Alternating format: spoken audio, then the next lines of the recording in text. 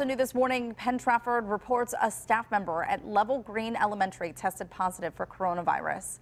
In a letter, the superintendent says the employee was not in close contact with any students or staff. The school is open today, but parents do have the choice of keeping their child home for remote learning.